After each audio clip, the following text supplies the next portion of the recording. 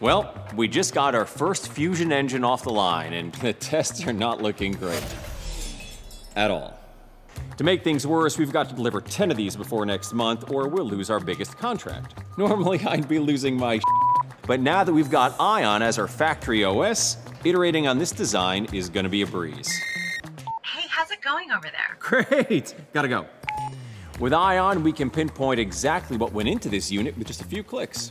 Full part histories, design changes, cost data, and more.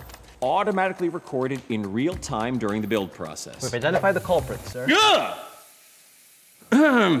I'm notifying our engineer to take a look. and sure enough, this whole batch of coils became corroded in storage. With Ion, it's as easy as updating the work instructions to include additional plasma coating and dryer storage, and it's done.